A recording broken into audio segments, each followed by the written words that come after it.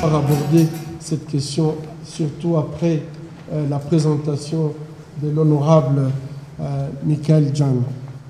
It's very difficult for me to talk about the situation in Congo, especially after having listened to the Honorable Michael Jean.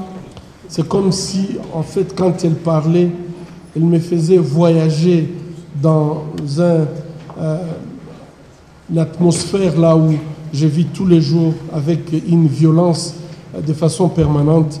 Et c'était très lourd pour moi à pouvoir écouter et savoir que je vais aussi en parler.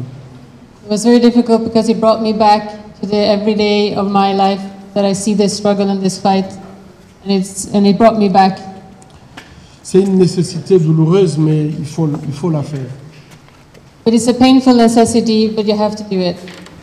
Parce que je pense que si on ne dit pas ce qui se passe, si on ne communique pas, surtout à une jeunesse qui a la force, qui a la capacité de pouvoir changer les choses, si on ne communique pas, en fait, il n'y aura pas d'action, il n'y aura pas de changement. Alors que lorsqu'on on communique, surtout à une jeunesse, on peut avoir cet espoir que le changement peut venir par la jeunesse. But it, at the same time, it's very important to speak to the youth, knowing that there is a possibility possibility for change. And if we communicate, we can have this change. Et lorsqu'on communique, il faut avoir les gens qui vous écoutent. But if you speak, someone has to listen as well. Et donc, euh, vous êtes là ce soir pour nous écouter. You're here tonight to listen to us. Vous êtes là ce soir pour chercher à savoir qu'est-ce que vous pouvez faire. You're here tonight to see what you can do. C'est très loin ce qui se passe, It's very far away what's going on in Congo, mais aussi c'est très proche. but it's also very close. J'aime souvent dire, on parle beaucoup de la globalisation économique, on ne parle pas de la globalisation humaine.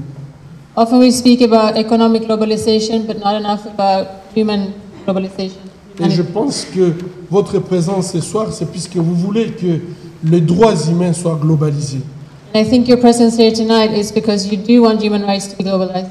Et donc, euh, je suis très reconnaissant que vous soyez ici euh, pour écouter ce qui se passe loin de vous, mais près de vous, puisque nous appartenons tous à une même humanité.